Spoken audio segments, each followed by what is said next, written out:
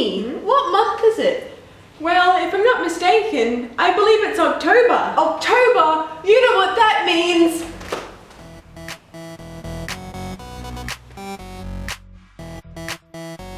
October is a month for mental health. Make sure to take care of yourself. It's a time to be kind and spread love. Explore nature and look at the sky above. Sing, dance, be sure to spread the cheer. Talk about your woes, sorrows, and fear. Don't hold back, in. Take time to relax, give your brain a win.